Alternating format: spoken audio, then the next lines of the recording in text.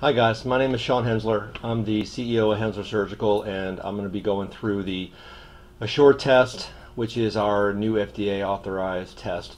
We can finally actually roll out to you guys and I'm going to be going through multiple things in this video. I'm going to be going through the package insert, I'm going through all the nooks and crannies of this thing. So we all know exactly what we're getting into, what we can tell people, what we can tell that this thing does and um, not only that, I'm going to go through the test. I'm going to do the test on myself, show you how different aspects of the test is run, and that will be hugely beneficial in explaining not only the dynamics of the test, the IgM, IgG theory, and also the uh, antibody discussion that we need to go through to make sure we understand what this test is actually going to be doing and what we're teaching everyone. This test we have is going to be applicable for most commonly uh, hospitals, urgent care centers, even uh, health fairs, uh, family medicine doctors, those individuals who have access to CLIA labs, and I'll be going through that shortly. Uh, these tests are quick, they're available, they are point of care, they are rapid, and you don't have to wait anywhere from four to seven days to even get the results back. Uh, they're real time uh, and it does gauge the immune response.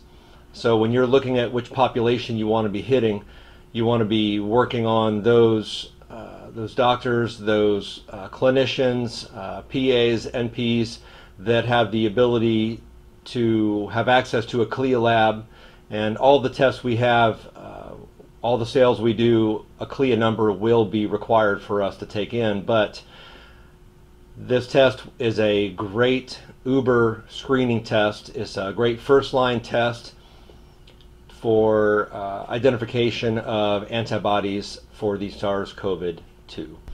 So I wanted to go through the uh, intended use of this device. So it is a what's called a lateral flow chromatographic immunoassay or a LFIA test. This is uh, this is important to know because it is a test for the qualitative detection, not the quantitative. It's not detecting the amount or the number of antibodies. It's detecting the presence of antibodies for IgM and IgG for SARS-CoV-2. Um, it is uh, testing whole blood. So it's uh, there's there's venipuncture methods from other competitive companies Ours is testing whole blood. Um, it is uh, for identifying individuals with an adaptive immune response to the SARS-CoV-2, indicating recent or prior infection. One thing to make sure, it is unknown at this point how long the antibodies persist following the infection. This is part of this testing process, the research, the R&D of this virus. This this virus is a ninja. I mean, it just works differently, and then it seems like once we have it figured out, it mutates to a different uh, to a different form. It's uh, it's zoonotic in nature, which means it's uh, it's animal based. One of the big factors here is not everyone that comes through the door is going to have to have a molecular or PCR test. Now, that is all based on the clinician's critical medical decision. Uh, so that decision is made based on the patient's presentation, their history, etc. So I'm not here to go against what they're going to be uh, assessing as as what's appropriate for what test to use.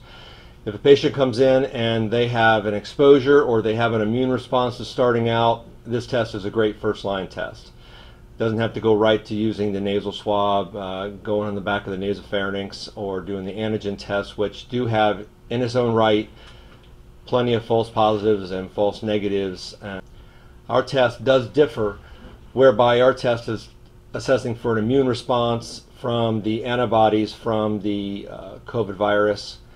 It'll also find virus uh, activity within the IgM realm and the other tests are more diagnostic and they're looking for the proteins or looking for various they're looking for the virus itself. So ours is not doing that. Ours is assessing what the virus is actively doing which is giving off antibodies and then finding those antibodies as they are related to the SARS-CoV-2. The IgG and the IgM antibodies to the SARS-CoV-2 are generally detectable in the blood within several days after infection. The duration of time is not well characterized. Again, this is still being tested. The laboratories that will be using this is CLIA laboratories, um, and these laboratories, the key word for this is the lab has to be able to handle moderate to high complexity tests. So that means we can't just sell this test to to Joe Blow who works down the road and they have some employees and they want to do some testing. They want to just read it there and just see if their patients are positive or not. It doesn't work that way. Um, the FDA won't allow it, and uh, not only uh, will um, will I be in trouble if I went ahead and allowed that kind of activity, which I won't. It will be uh, falling back on you as well, not only as a public health concern, you'll be deemed as a uh, public health risk by not following the instructions of the FDA. This test has to be done uh, through and read by appropriate people, and the laboratory uh, personnel, the laboratory um, staff that has been trained for this is who is going to run the test. They're not going to read it, they're going to run it. So that's important to know. Um, this test, again, is not uh, for confirmatory testing, that's for PCR or antigen testing. And of course, this is only this is uh, used under the Food and Drug Administration's emergency use authorization. I wanted to go over the kind of symptoms that you typically would see with this virus. It does mimic uh, flu, influenza, multiple things, uh, even allergies, sneezing, coughing. It's an airborne virus, and the incubation period is estimated between 2 and 14 days. There's been a lot of studies on asymptomatic patients if they can spread this thing. Um, data is more positive towards yes, they're in an asymptomatic latent phase. It's uh, the antibody for the COVID has not hatched, if you will. So they can still spread it, which is why if someone has an exposure, they'll go and test somebody with antibody or with antigen testing or with uh, PCR because they're looking for the virus itself. However, it needs to be at a detectable level.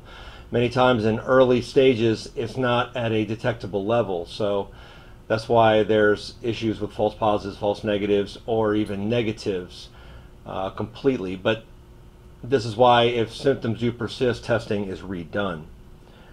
Um, detection of IgM is indicated for finding recent infections, and uh, IgG antibodies appear in the later stage of the infection and that's what our test does. It's a lateral flow immunoassay assessing for those two factors and will give you the presumptive diagnosis of COVID-19.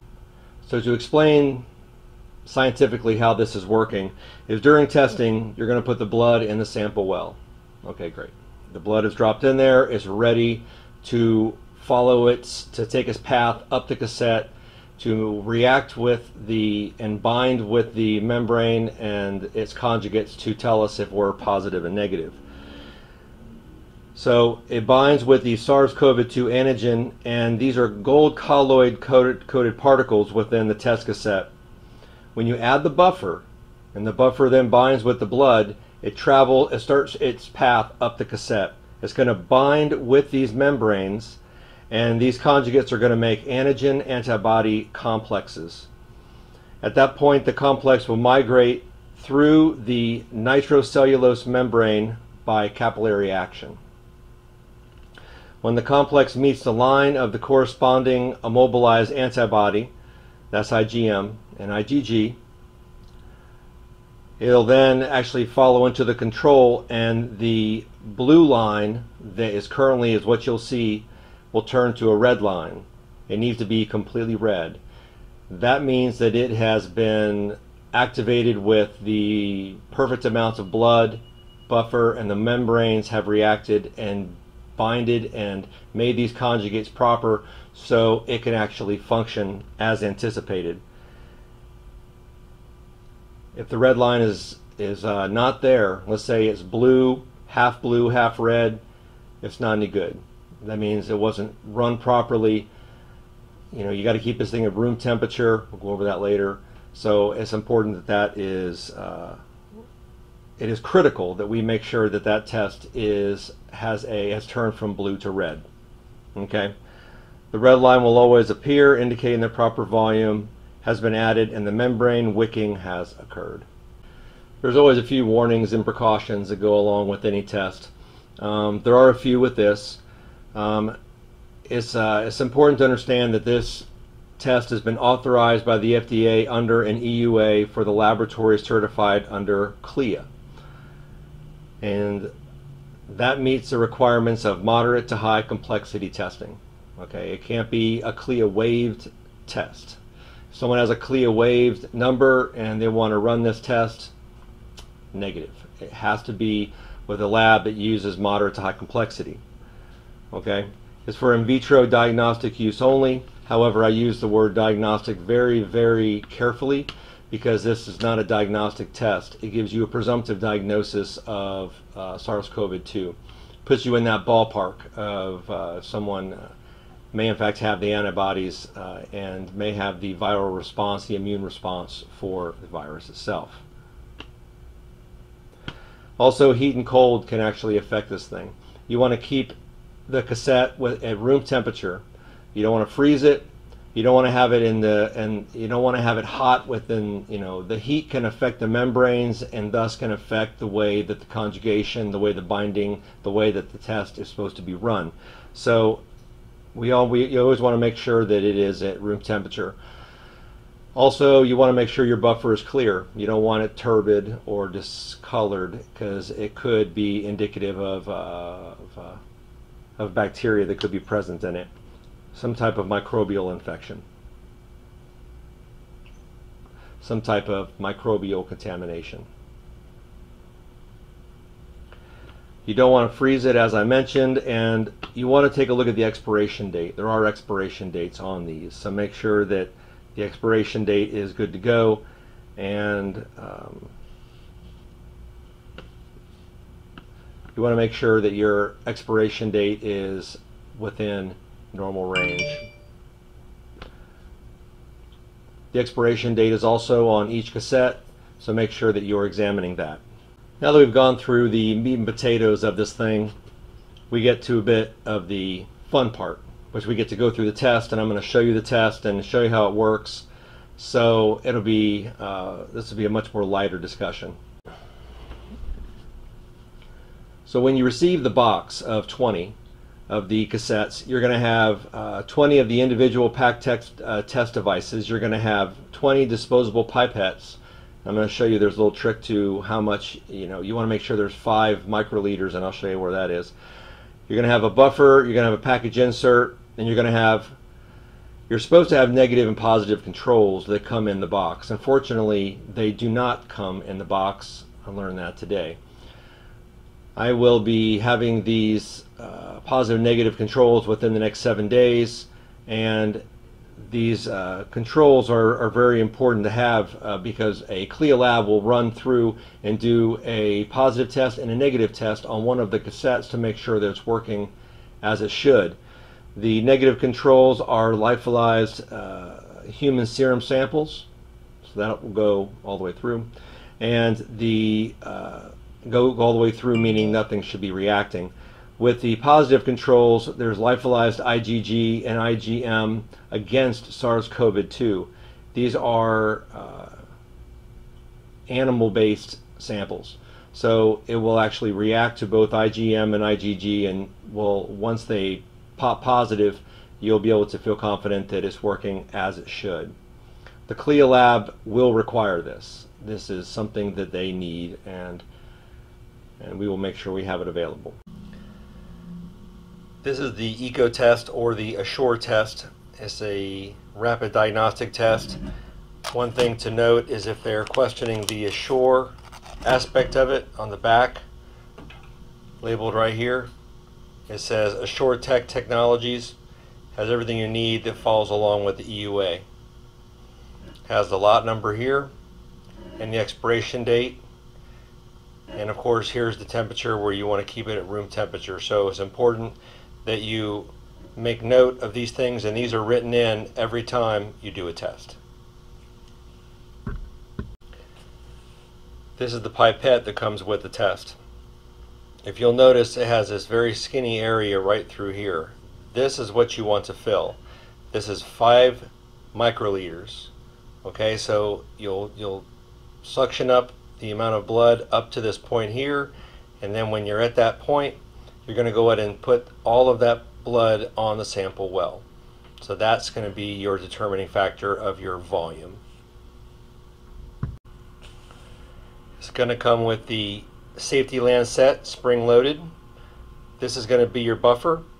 When you're ready to do the drops of the buffer, you'll simply just unscrew the cap here and then you're going to gently press down on this area here and don't squeeze it super fast, just nice and gentle and do two drops after the blood has been placed on the sample well. And of course the alcohol pads. This is the Assure or Ecotest for the COVID-19 that we're going to be utilizing that is FDA authorized. You're going to have the sample well here. This is where you're going to put the one drop of blood and two drops of buffer. There's not going to be anything to close. There isn't any other activity to do. It's simply drop and go. And then as soon as you put in the drop of buffer, that's when your timer starts. 15 minutes. You don't read it before 15 minutes. You don't read it after 20 minutes. If you read it before 10 minutes, it's erroneous. That's what the package insert says. However, it is a 15 minute test. So run it to the 15 minutes. 15 to 20 minutes is that window. You have your IgM, IgG, and you can see there's already a line there that is blue that is on the control line. And when it turns completely red, that's how you know that it's been run properly. If it does not turn completely red, you need to discard the test and redo it. You've either had not enough blood or too much buffer or not enough buffer. It needs to be a full red line, not partially blue, partially red, a full solid red line. We're going to start with me undergoing the test itself. My finger here. I'm going to take out the alcohol swab. I'm going to go ahead and wipe off the area you want to hit. Generally hitting right in the center of the finger is not advisable. It closes up very quickly. If you go to the side, it does a good job. Simply unscrew.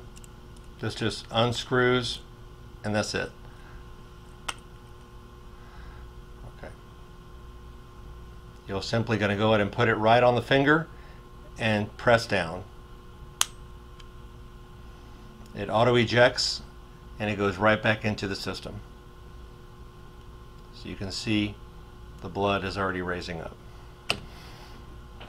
So you'll raise some blood and you're going to wipe it off. Now I'm doing myself, but this is always done with gloves, but you're going to have CLIA personnel doing this.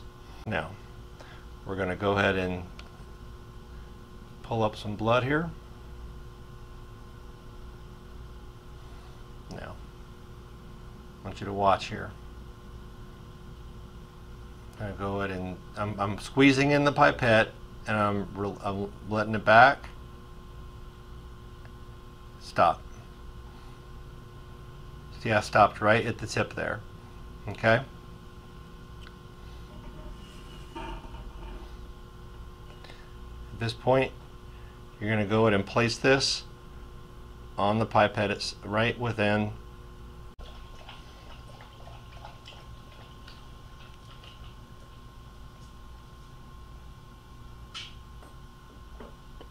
one drop, one one thousand. Let it seep in and then hit the second drop.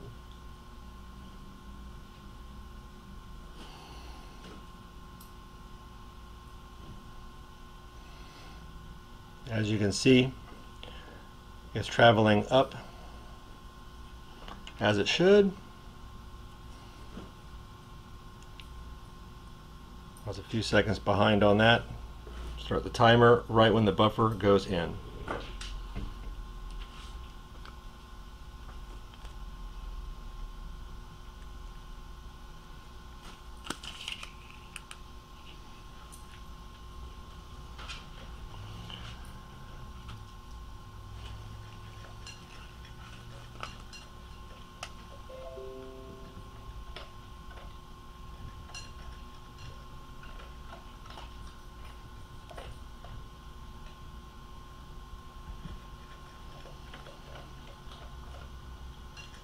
As you will see, the blue line now has been replaced with a red line. The red line is now proving that this test is being run as properly as it's supposed to be.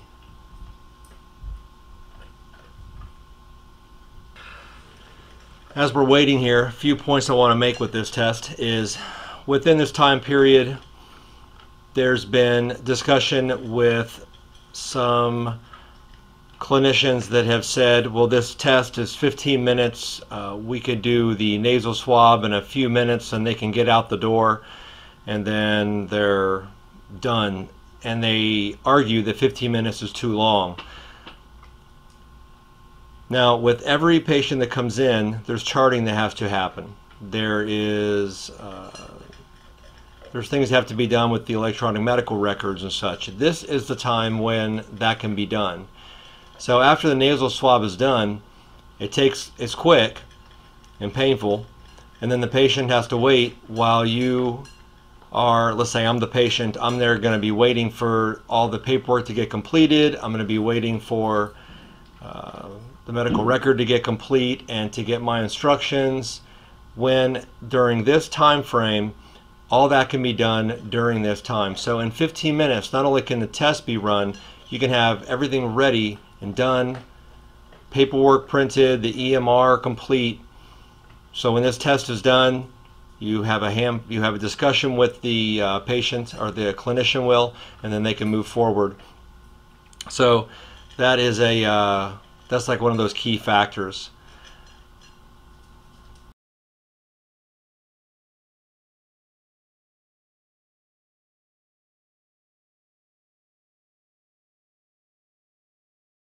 To touch on the process one more time. It's going to be one drop of blood and two drops of buffer. Remember to do one 1000, two 1000 before putting the second drop in. When you put the first drop in, you'll see it absorb and you don't want to overfill. So you want to watch it absorb completely into the into the paper. And then once it looks like it's absorbed, which could be up to two 1000, then go ahead and put the second drop in so you don't inundate the blood sample.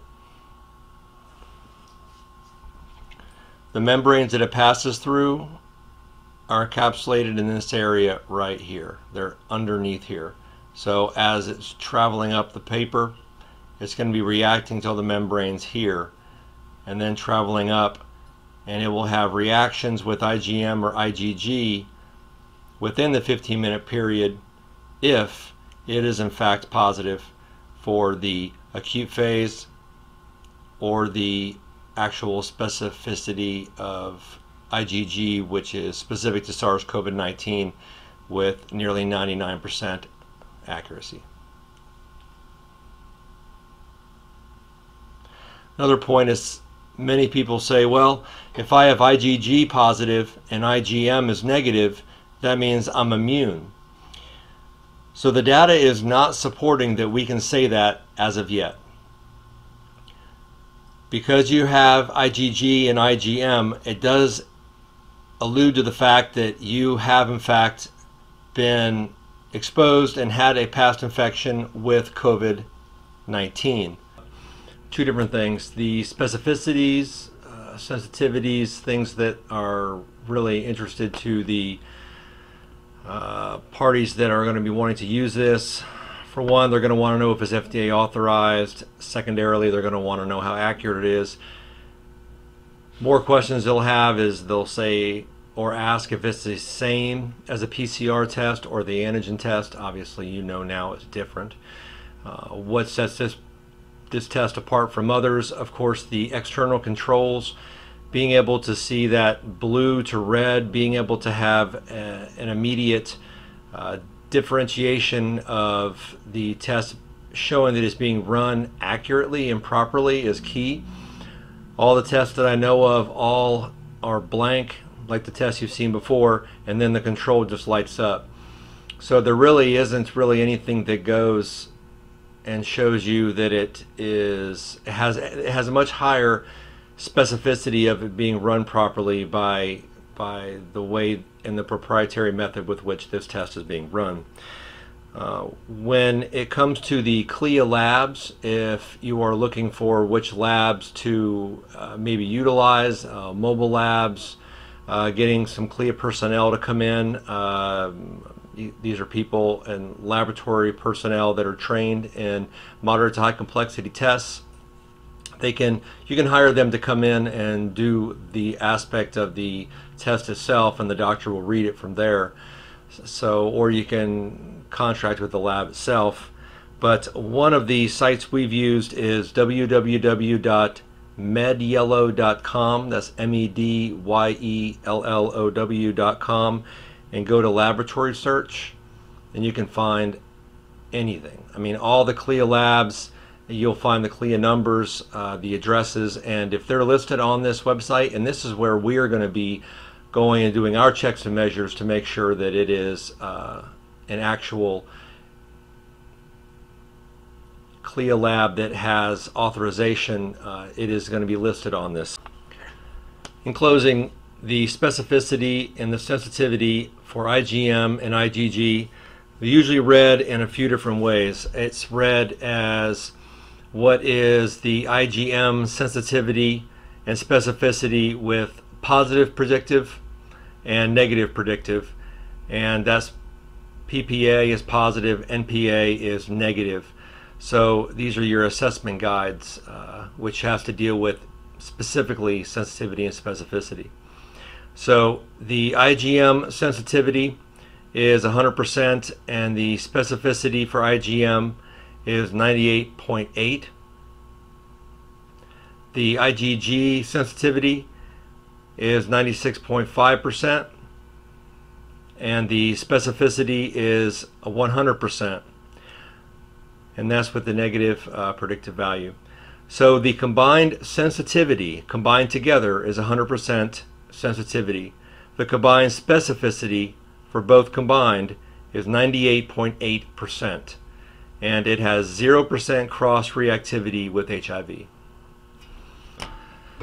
So, in closing, thank you again for your time. I know this is long winded, but I wanted to go over every part about this test. I wanted you to understand it, I wanted you to know it. I would like you also to take the instructions for use. I want you to read it over for yourself as, as well. You're going to be responsible for making sure that you are passing on the right information and you are not uh, providing any scuttlebutt, if you will, that will be erroneous data that could, in fact, um, put us at risk for misinformation. Hope it's been great for you guys. Thank you again for your time and be safe and be well.